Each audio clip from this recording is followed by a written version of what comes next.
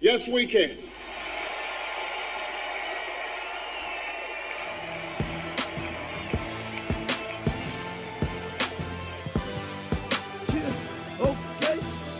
Ik heb liefde voor de buurt. Ik heb liefde voor de buurt. eh. Ik heb liefde voor de buurt. Ik heb liefde voor de dubbele Wester. Ik heb liefde voor de buurt. Ik heb liefde voor de buurt. Ik heb liefde voor de buurt. Ik heb liefde voor de dubbele Wester. Ik heb liefde voor de buurt, man.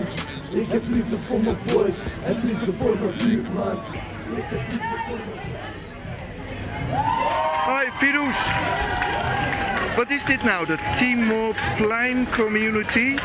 Ja, Ron, Timorplein Community is iets heel leuks.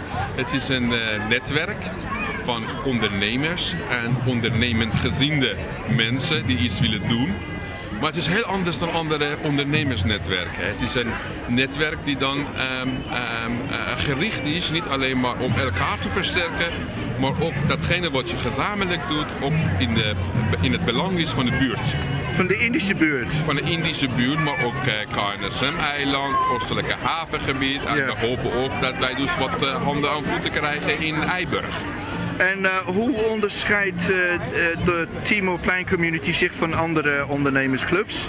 Nou, eh, eh, ander, ik, ik zal iets over andere clubs zeggen, maar Timorplein Community is een groep die dan de focus niet naar binnen heeft, maar naar buiten toe. Ja, ja. Dus eigenlijk van buiten naar binnen. Van hoe kunnen wij samen met de buurtbewoners werken aan eh, activiteiten, voorzieningen, producten hè, die dan duurzaam zijn en door de bewoners geproduceerd worden en door de bewoners geconsumeerd worden. Eh, en wat voor, mensen, wat voor mensen mogen zich aansluiten?